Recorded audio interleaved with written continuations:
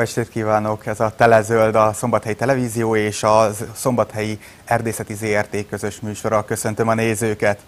Műsorunkban, ahogy már azt a korábbiakban is megszokhatták, az erdészet szertágazó tevékenységét próbáljuk meg bemutatni, és természetesen igyekszünk mindazokra a szépségekre felhívni a figyelmet, ami az aktív pihenést, a kikapcsolódást jelentheti az állami erdőkben.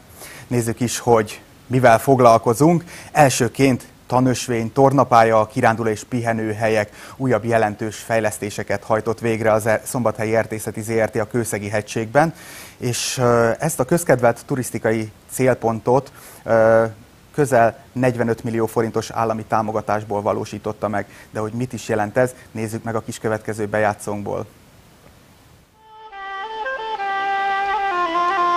Tárogató hangja hívta a turistákat a Kőszegi hegység leglátogatottabb kiránduló helyére, a Hétforráshoz. A Millennium évében 1896-ban kiépített forrás környezetét mostanra teljesen megújította a Szombathelyi Erdészeti ZRT.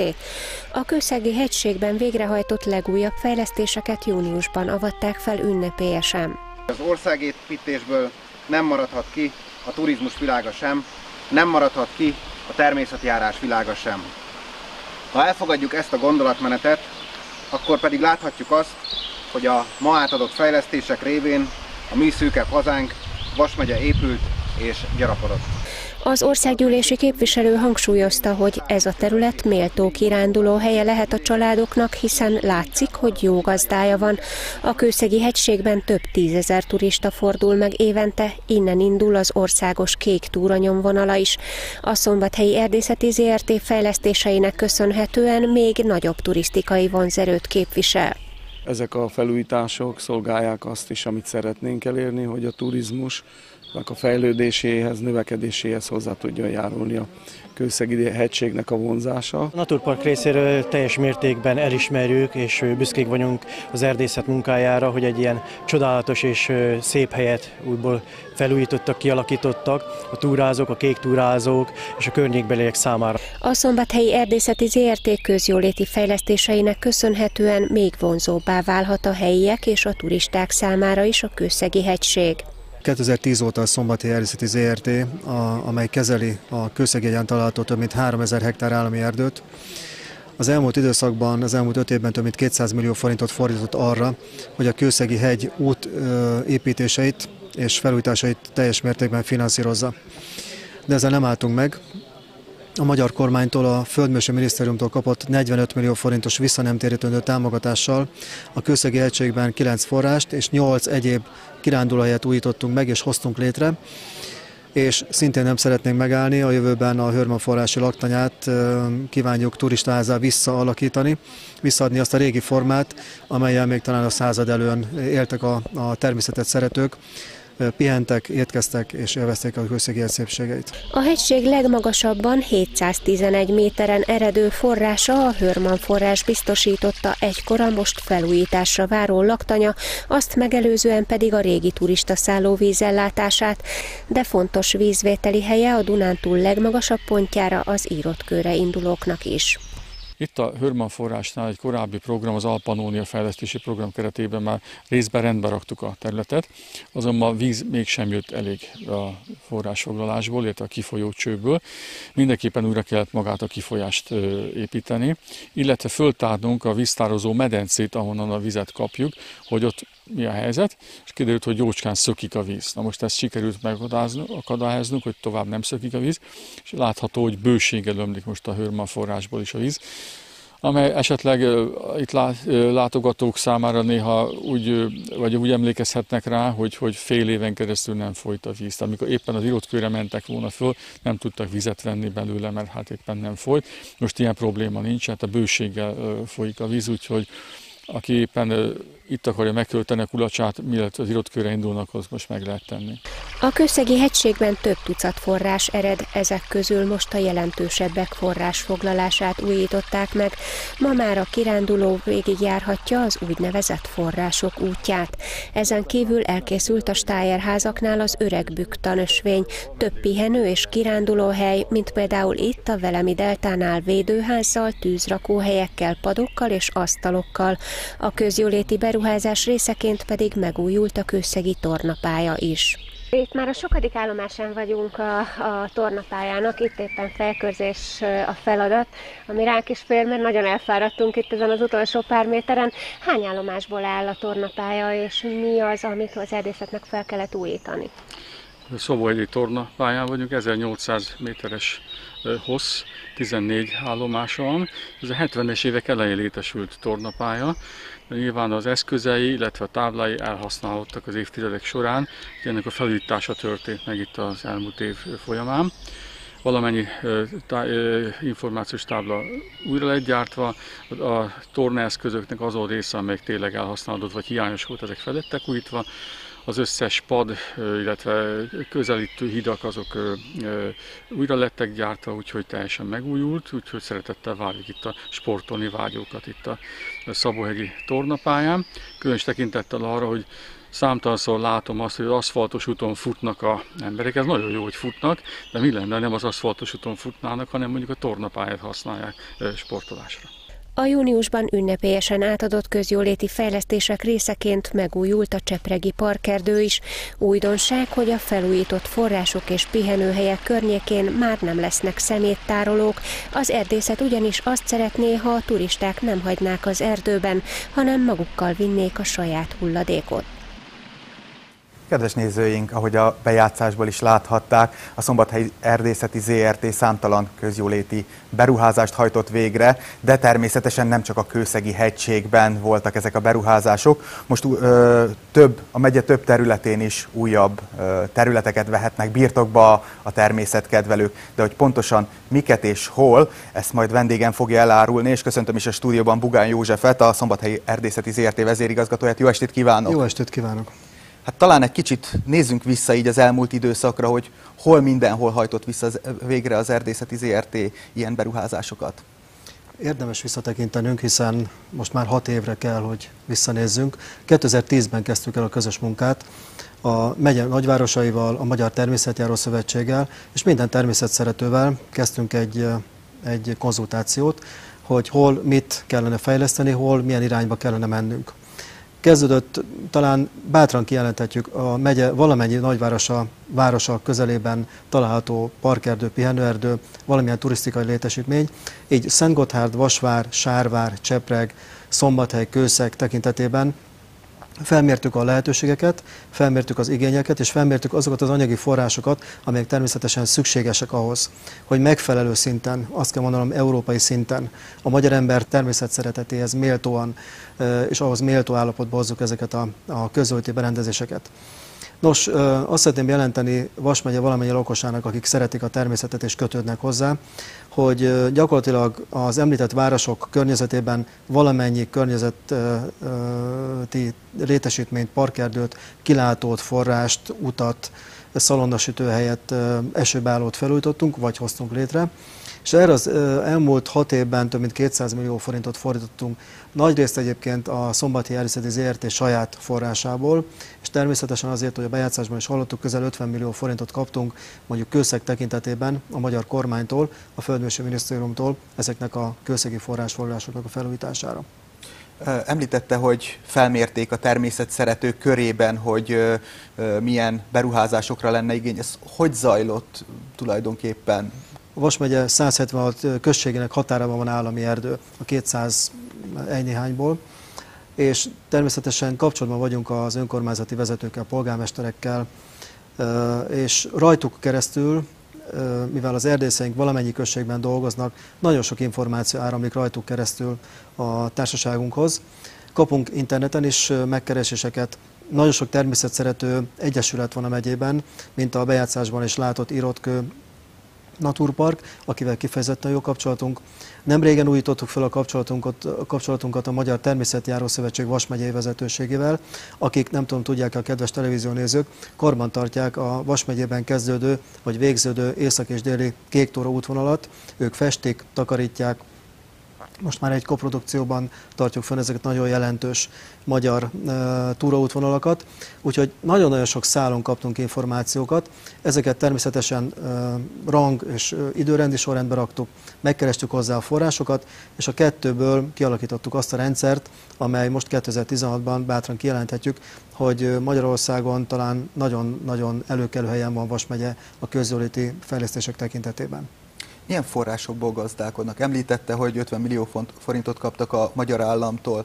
De emellett milyen források állnak rendelkezésére az erdészeti ZRT-nek? Nagyon jelentős a, a, ezeknek a közötti létesítmények a forrás oldala a magyar kormány is támogat bennünket. Javarészt azonban a társaságunk saját forrásából évente egy 4-500 millió forintos beruházási keretben belül dolgozunk, és ennek a beruházási keretnek most már ilyen 30-40-50 százaléka függen az adott évnek a, a közölti elképzeléseitől, már saját erős beruházásként említhető.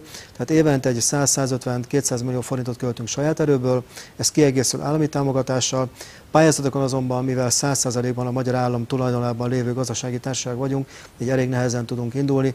Szoktunk konzorciumokat létrehozni, például az Őrség Nemzeti Parkkal, és a kettőből lehet aztán kovácsolni valamiféle pályázati tőkét is. Az iménti kis videós bejátszásban elhangzott, hogy a Hörman forrásban lévő régi laktanyából szeretnének turista szállót. Ebből én arra következtetek, hogy ezek a közgyűléti beruházások nem állnak meg, hanem már megvannak a tervek a következőkre. Milyen fejlesztéseket szeretne a közeljövőben megvalósítani az erdészeti ZRT? A Jeli Arboretum, ahogy említettem, Vas megye közgyűléti zászlós hajója. Közép-Európa, de Európa egyik legjelentősebb természetes kertje a Jeli Arboretum, amelyet évről évre több tízmillió forinttal fejlesztünk. A Jeli Arboretumban a következő években meg kell oldanunk a, a vizes blokkoknak a cseréjét, mert azt az ember áradatot, tömeget, hála Istennek, nagyon sokan keresik fel az arboritumot, nem bírják már ezek a szociális helységek. Szeretnénk a kert belsejében még tovább vinni azt az akadálymentesen megközelíthető tanösvényt, amelyet vak és mozgássérült természetszerelődő társaink most már előszeretettel használnak, ezt meg kell hosszabbítanunk. Átérve vissza esetleg Kőszegre, a Hörma forrási laktanya egy pici talán adminisztrációs akadály miatt jelenleg még nem került a vagyonkezelésünkbe. Hosszú volt az út, amíg ide értünk, de a belügyminisztérium vagyonkezeléséből átkerült a földmösi minisztérium vagyonkezelésébe a laktanya. Ott miniszter úr áldásat adta arra a földmösi miniszter úr, hogy átkerüljön hozzánk. Azt hiszem azonban ez év végére el fog rendeződni a dolog, és a Hörma forrási laktanyából egy százedelei pompájában tündöklő új beruházást, a Hörma forrási turistaházat fogjuk megépíteni, és azt gondolom ezzel meg lesz a koronája a kőszegi fejlesztéseinknek, hiszen akkor már mind a kőszegi hegyre felvezető út mentén, mind pedig a hegy tetején is lesz olyan létesítmény, amivel nyugodtan büszkélkedhetnek a vasmegyi természetszeretők. De természetesen ezekre vigyázni is kell, és ha minden igaz, akkor az erdészeti ZRT-nek van egy olyan mondhatjuk azt, hogy új mottója, bár a maga az elgondolás nem újdonság, hogy csak a lábnyomodat hagyd az erdőben, az, a szemetet vidd magaddal. És most az erdészeti ZRT-nek van egy olyan, azt gondolom, hogy módszere, hogy csökkentik a kukákat. Ez mennyiben járulhat hozzá a szemetelés csökkentéséhez, vagy, vagy honnan indult ez az egész elképzelés? Nagyon sokat járnak kollégáim, én magam is erdőben, külföldön is. Szlovéniában és Ausztriában ezeken a közöléti helyeken, közöléti létesítményekben egyáltalán nincsen szeméttároló, és természetesen teljesen logikusan nincsen, hiszen aki, aki kiviszi a szemetet az erdőbe a hátizsákjában, vagy a csomagolóanyagot, vagy a, a vizes palackot, az kutya kötelesség, hogy haza is vigyesni az erdőben elhelyezett szeméttárolóban helyezzel.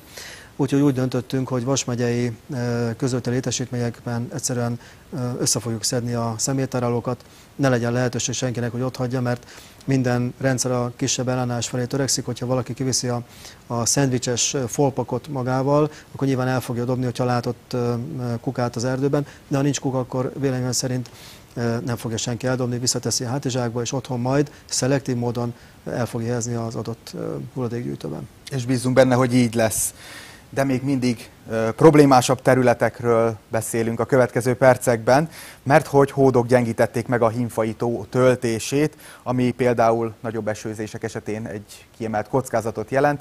Ennek következtében a katasztrófavédelem el is rendelte a tóvizének leengedését, ez azonban átmeneti megoldás. Nézzük meg, hogy mi újság a hímfaitónál.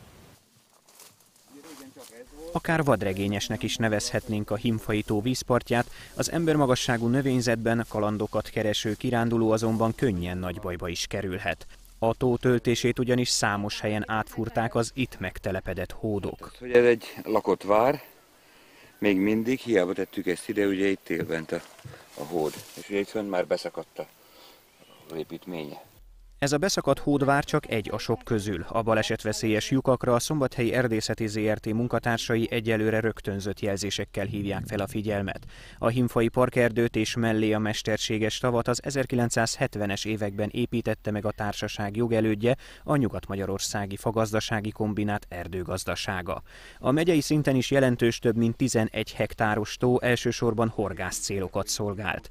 Bár az állami terület vagyonkezelője az erdészet, a tó vízjogi engedélyese, azaz fenntartója sokáig a Sporthorgász Szövetség volt. A Himfai Parkerdőt a Szombathelyi Erdészeti ZRT 2014-ben közjóléti beruházásainak keretében felújította. A tó értékes élővilágának megismertetésére pedig még egy madár megfigyelő tornyot is építettek. A parkerdő így újra közkedvelt kiránduló helyé vált. Társágunk nagy figyelmet fordít a közjóléti létesítményeire, Szentgotthár térségében is több közjóléti létesítményt üzemeltetünk, és egyike ez a Hinfai Park, illetve parkerdő. Ez a parkerdő ugye 2014-ben került megújításra, itt az asztal padok, tűzrakóhelyek, sétautak, Nordic Walking pálya, kerékpárút, madár megfigyelő torony, kis házak felújításra kerültek, a sportpálya, illetve annak létesítményei felújításra kerültek, illetve megépítésre kerültek, és ezóta nagyon felkapott kiránduló hely lett ez a terület. A parkerdőnek szerves része ez a tó, annak idején a megálmodói ugye ezt a komplexumot egybeálmodták meg. Sajnálatos módon van ez a vitás eset, de ez lezárul, és rövidesen együtt igénybe vehetjük, használhatjuk a teljes objektumot. A problémák 2003-tól kezdődtek, mondja az erdészet munkatársa. A töltésen kívül egy zsilip tartja a vízszintet megfelelő magasságba, ezt barátszsilipnek nevezik, ez ott az észak-nyugati oldalon található, és egy vészárapasztó található itt a délkeleti oldalon. Ezek azért nagyon jelentős, azért kerülnek megemlítésre, mert tulajdonképpen ebben lehet ezeket a műszaki létesítményeket megfelelő állapotba tartani és ezeknek a létesítményeknek az elhanyagolása az súlyos problémákat okoz, és arra datálható itt a tó műszaki állapotának a leromlása, mivel tulajdonképpen ezeknek a műtárgyaknak a karbatartása, ez nem történt meg, meg a töltésnek a karbatartása se, ezért ugye a tónak a műszaki állapota 2003 óta folyamatosan csökkent. A műszaki állapot csökkenését az utóbbi időkben egy hát egy ilyen élővilággal kapcsolatos biológiai probléma is meggyorsította. A tó és a parkerdő között most jól látható határvonal húzódik, míg az erdészet gondosan ápolja közjóléti beruházásának szinterét, a közelmúltig a Horgászszövetség kezelésében álló tó környéke lassan dzsungellé vált. Ezen a területen most a hódok gazdálkodnak. Már lekérgezte, és nagyon nagy érzéke van, hogy merre fog dőlni a fa. Mert azt az oldalt kezdi vékonyítani. És ezt már a hód művelte a fával. A tó mellett már számos fát kidöntöttek a hódok, de ennél is nagyobb probléma, hogy az 1600 méteres körtöltést meggyengítették. Félő volt, hogy egy nagyobb esőzés miatt megemelkedő víz átszakítja a töltést, emiatt a katasztrófavédelem elrendelte a leengedést. A vízszintet ezen a zsilipen keresztül az erdészet csökkentette, a tó halállományát pedig a Horgászszövetség halázta le. Ez már benn marad, igen, éppen azért, hogy a benne lévő élővilág ne pusztuljon ki, ne mocsarasodjon el, hanem a megmaradt hal, állomány, egyéb az még tudjon élni létezni, amíg felújításra nem kerül a tó és környéke. A természetvédelmi területen fekvő tóban és környékén számos védett állat és növényfaj él. Ilyen például a súlyom is. Ezt nem szabad így hagyni, úgyhogy a társaságunk, mint a terület vagyonkezelője bizonyos döntéseket hozott, ez pedig az, hogy a műszaki létesítmények felújítására a tervezési munkákat már ebben az évben el fogja végeztetni, és ez tulajdonképpen szerződéskötés előtt állunk, ami hát a leges legelső lépés arra, hogy a tó felújítása megtörténjen. Az elképzeléseink meg a terveink szerint természetesen a állami és egyéb pályázati segítséggel és sok közreműködő segítségével ezt a tavat, illetve annak műszaki létesítményeit szeretnénk felújítani. A tó töltésének és műszaki berendezéseinek felújítása várhatóan több 10 millió forintba kerül. Folytatjuk a beszélgetést Bugán József vezérigazgató úrral. Elhangzott, hogy az erdészet a terület vagyonkezelője, ugyanakkor a tónak nem ő az üzemeltetője. Ez, ez problémát jelent, vagy, vagy lehetőséget jelent, hogy ennek ellenére kézbe vegyék az ügyet? Egyáltalán mi újság itt a, a tó környékén? Valóban nagyon érdekes a helyzet, hogy a tónak a feneke az a magyar állam tulajdonában van. A tó felszíne vízjogi engedéllyel, és ennek a vízfelületnek halászati joga azonban a 2010 előtti pályázatok eredménye nyomán nem az állami erdőgazdaság kezébe került. Nem szeretném ezeket boncolgatni, ezeket a pályázati értékeléseket 2010 előtt.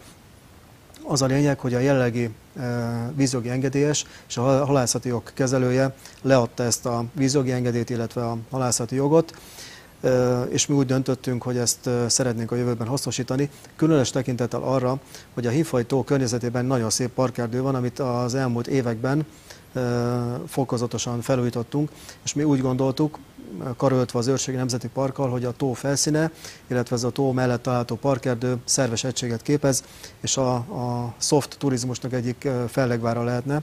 Tulajdonképpen őrség... egy kiránduló helyként funkcionálna. Pontosan.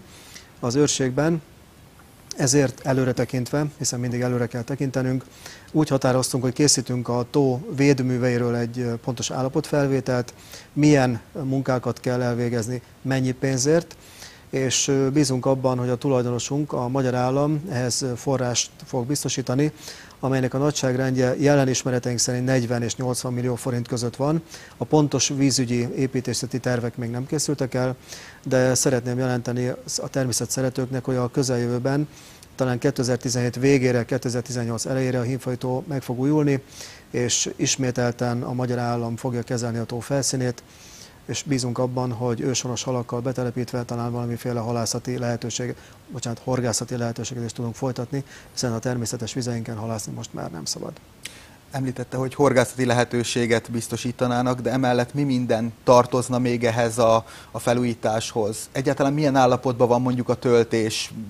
Hallottuk ott a hódok problémáját. A hódok visszakerültek Magyarországra, a jelen ismereteim szerint a hód védett állat, ezért vadászni nem lehet rá. A hód viszont szereti a halat, így a hímfajtónak a halálományát jelentősen csökkentett az ott tanyázó védett hódállomány. A gátakba várakat építettek, meggyengítve jelentősen, tehát műszakilag meggyengítve a gátrendszert. Ezért döntöttünk úgy közösen a katasztrófavédelem, hogy a tó vízszintjét csökkentjük, nehogy valamiféle havári helyzet álljon elő. Így aztán most ezt a hódvárakkal megtűzelt gátat újra kell gyakorlatilag építeni. A tó környezetében azonban vannak madármegfigyelő tornyok, szalonnasütőhelyek, erdei tornapályák, esőbeállók, az őshonos helyi fafajokból bemutatott készítettünk ott a természetszeretőknek, és egyébként Himfa önmagában is gyönyörű, és az őrség kapujában fekvő turisztikai létesítményt érdemes lesz megnézni 2017 végén reményeink szerint. A következő percekben a munkaerőpiac világába kalandozunk, de természetesen még mindig az erdészeti ZRT berkein belül, mert hogy gondot okoz az erdészeti közfoglalkoztatásban is a rendkívül alacsony munkanélküliség. Egyre kevesebb ugyanis azoknak a száma, akiket a munkaügyi központok ilyen feladatokra ki tudnak közvetíteni. A szabadban végzett fizikai munka pedig látszólag kevésbé vonzó. A következő percekben egy kis rövid összeállítást készítettünk arról, hogy mit jelent az erdőben a közfoglalkoztatás.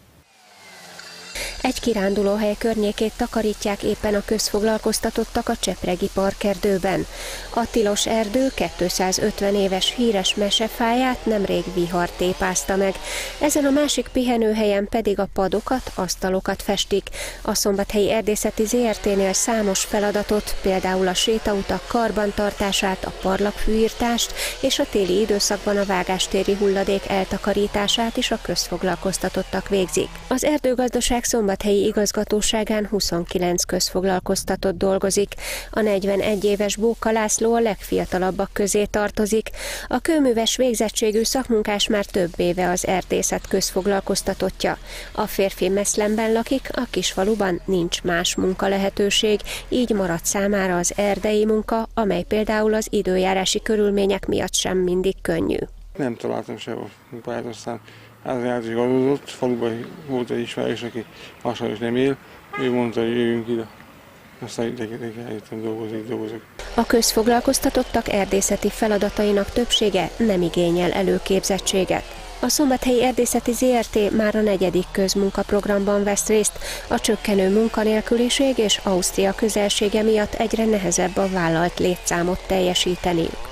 Hát nagyon alacsony a munkanélküliek száma, és éppen ezért hát máshova mennek, illetve sokan vannak olyanok, akik nem regisztrálnak a munkaügyi központban, így nem tudják kiközvetíteni őket, illetve így nem is tudnak arról, hogy ilyen lehetőségek vannak. Az erdészeti közfoglalkoztatottak átlag életkora 50 év, többségük már évek óta részt vesz a közmunkaprogramban.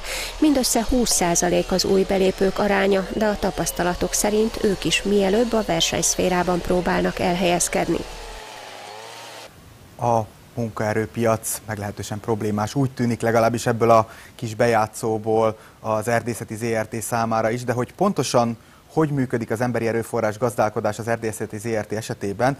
Erről, fog, erről szól a következő kérdés. Ugye az elhangzott, hogy 29 közfoglalkoztatottal dolgoztatnak, és hogy kb. 20%-uk az, aki állandó, és egyre, és egyre kevesebb az új belépő. De összességében, ugye ez már a negyedik közmunkaprogram az erdészeti ZRT-ben, milyen tapasztalatai vannak ennek a programnak? Társaságunk, tehát az állami erdészet 1998 óta folytat közfoglalkoztatást a megyében. Annak idején még talán 360 emberrel is dolgoztunk, és annak idején még szó szerint kell érteniük, még könyörögtek az emberek a munkanélkülek, hogy hadd jöhessenek el dolgozni. Már a megfordult teljesen a kocka.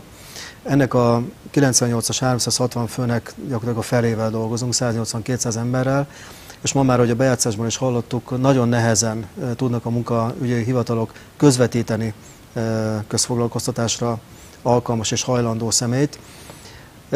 Teljesen megfordult minden, nem tudjuk már az átlag létszámot sem biztosítani, ezt a 200 fős átlag létszámot kellett kérnünk a munkahogyi hatóságot, hogy csökkentsük a közfoglalkoztatásnak a szintjét, mert annyira alacsonyak a, a megyei munkanélküliségi adatok, hogy valóban nem lehet már munkást találni.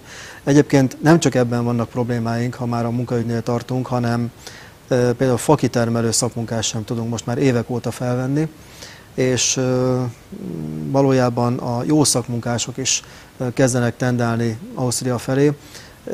Nem tudunk versenyezni jelenleg még az osztrák minimálbérekkel, ha bár a társaságunk meglehetősen piaci munkabérekkel dolgozik. Igyekszünk minden olyan szociális vívmányt megtartani és fejleszteni a társaságnál, amivel meg tudjuk tartani a jó munkásokat, de egyre nehezebb egyébként, egyre nehezebb, sőt most már van egy-két mérnök is, aki, aki azt gondolta, hogy talán szerencsét próbál Nyugat-Európában. De visszatérve a közfoglalkoztatásra, valóban nehéz most már embereket találni. E, valóban idősödnek a, a, az erre alkalmas regisztrált munkanélküliek. Úgyhogy egyrésztről ez jó természetesen az ország foglalkoztatási rátája szempontjából, nekünk azonban talán egy kicsit kedvezőtlenek, hiszen nehezen tudjuk a vállalt feltételeket, szerződési pontokat teljesíteni. Egyébként úgy általában az erdészeti ZRT küzd munkaerő problémákkal, tehát létszám hiányjal? 360 teljes munkadős dolgozónk van a 200 közmunkás mellett, és ahogy említettem, gépszerelők, a gépeket irányító, karbantartó személyzettel vannak most már létszám problémáink. Nagyon jó képzett szakmunkásokat nem találni, vagy említettem, fakitermelő szakmunkást évek óta nem tudunk felvenni, tehát ez abszurd helyzetnek tartom most már, pedig a jó fakitermelő szakmunkás, a jó erdészeknikus és a jó erdőmérnök egyaránt szükséges az erdők kezeléséhez.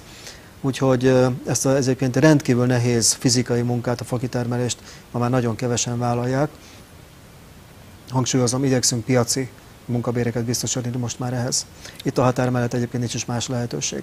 Hogy lehet ezt megoldani, mondjuk a fakitermelést? Alvállalkozókkal esetleg vannak olyan cégek vagy, vagy személyek, akik, akik egyéni vállalkozóként vagy, vagy egy cég keretén belül ilyen fakitermeléssel foglalkoznak? Az összes fakitermelésünk 25%-at végeztetjük csak saját fakitermelőinkkel, ami egyébként még mindig szintén nagy volumen.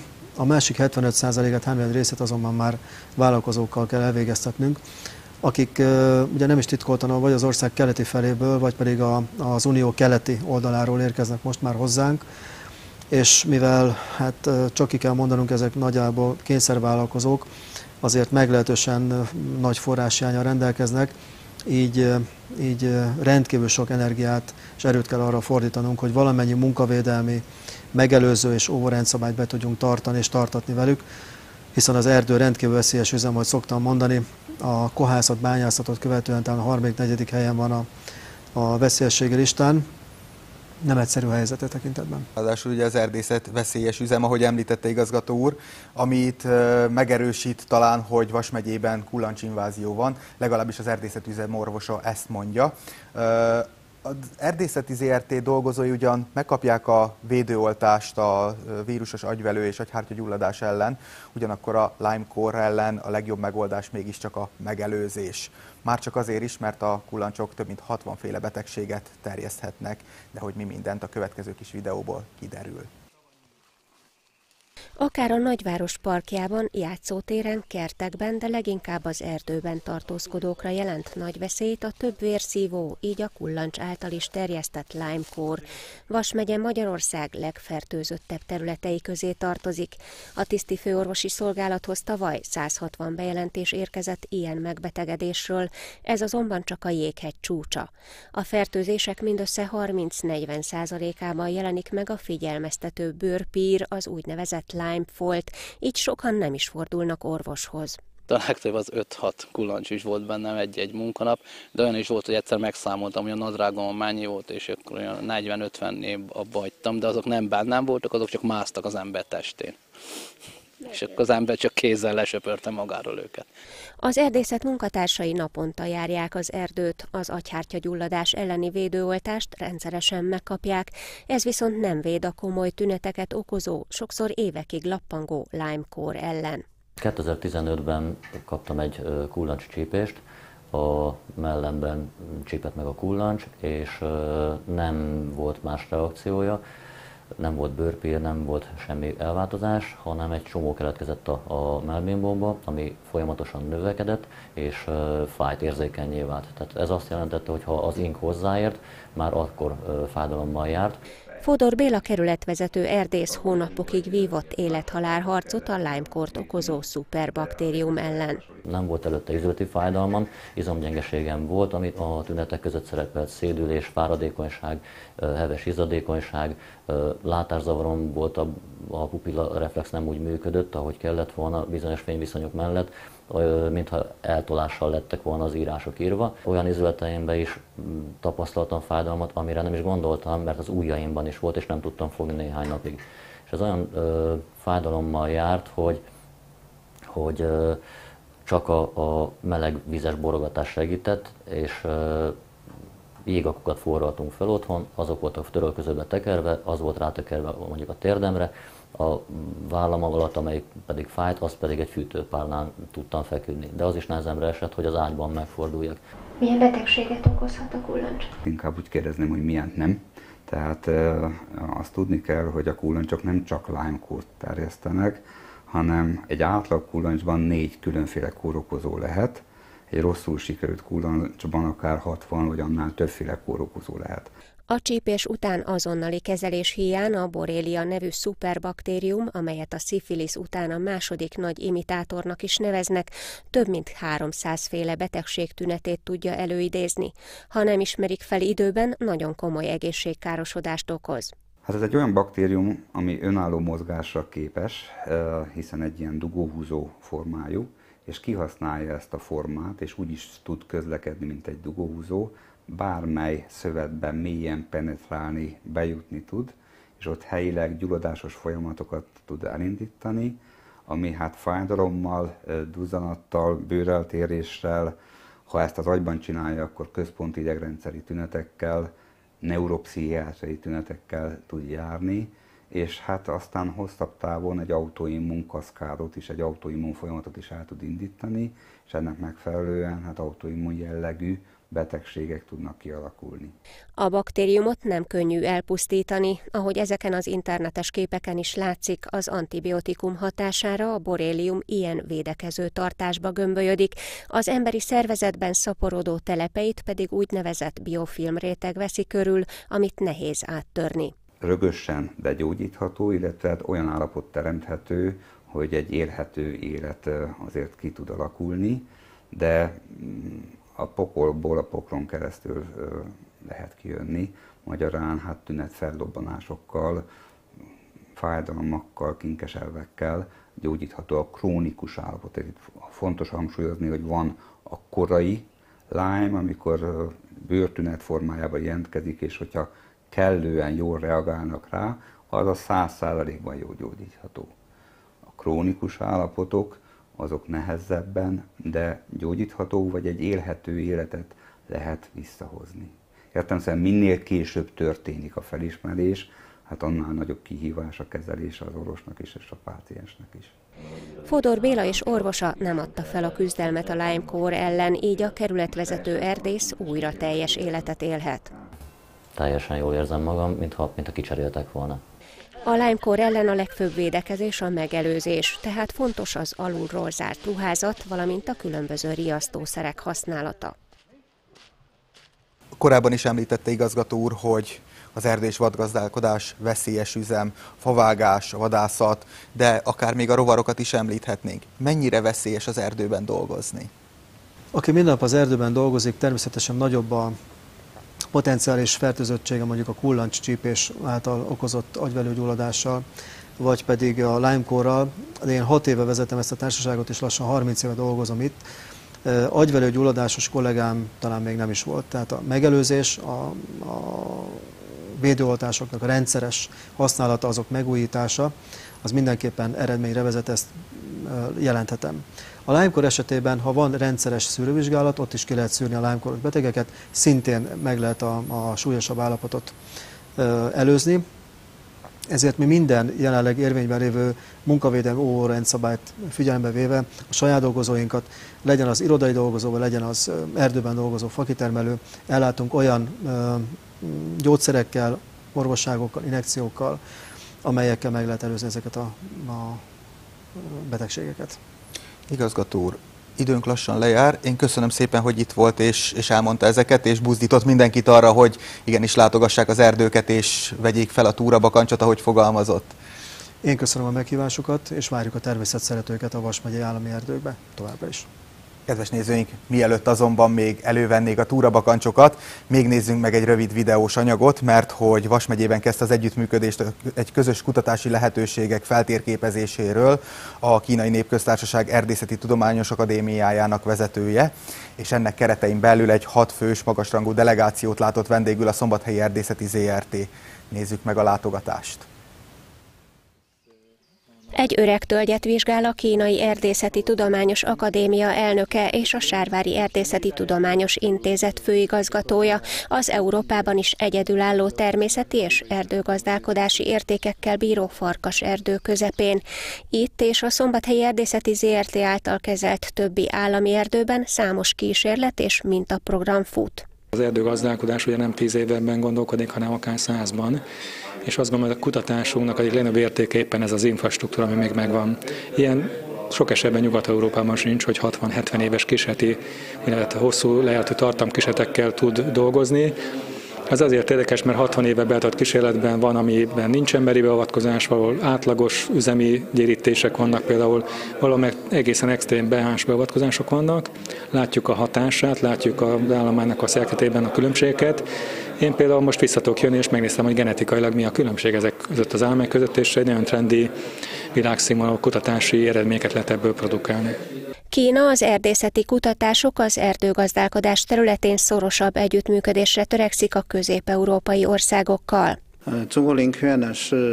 A kelet-európai országok, így Magyarország és Kína között nagyon jó az együttműködés. Például magyar akácot telepítettünk Kínában, és ezek nagyon jól nőnek. A Kínai Tudományos Kutatási Minisztérium és a magyar társ intézmények között három projekt áll most kidolgozás alatt. Az egyik az akácokat, a másik disznövényeket, a harmadik pedig a nyár kéregbetegségek közös kutatását érinti. Itt most azt tapasztaltuk, hogy a magyar erdőgazdálkodás nagyon magas színvonalú, és sok kutatás folyik, ezért ezen a területen mindenképpen látunk együttműködési lehetőségeket a jövőre nézve. A magasrangú kínai delegáció európai körútjának osztrák állomása után a Nemzeti Agrárkutatási és Innovációs Központ Erdészeti Tudományos Intézet meghívására érkezett Vas megyébe. Egy kollégám az elmúlt egy-két évben olyan munkát végzett, amire a kínai ottani kutatók is felfigyeltek, és most egy közös publikáció révén, közös pályázat révén a nemes nyárak kérek betegségeivel kapcsolatban egy tudományos alapba pályáztak Kínába, és hát úgy tűnik, hogy nyertes pályázattal egy jelentős összeggel közös erőfeszítést tudnak tenni ennek a betegségnek a leküzdésére. A klímaváltozás miatt egyre inkább felértékelődik a faanyag, többek között ezért az Erdészeti Tudományos Intézet kutatása iránt számos ország érdeklődik. A kínai szakemberek látogatása fontos lépés volt a két ország erdészeti együttműködésének kialakításában. Kedves nézőink, ennyi fért mai műsorunkban. Én munkatársaim nevében is köszönöm, hogy ma is a Telezöldet, a Szombathelyi Erdészeti ZRT és a Szombathelyi Televízió közös műsorát választották. És természetesen a természetkedvelők a későbbiek során sem maradnak magazin műsor nélkül, mert szeptemberben ismét jövünk új érdekességekkel az erdő és az erdészet világából. További szép estét és jó televíziózást kívánok! Viszontlátásra!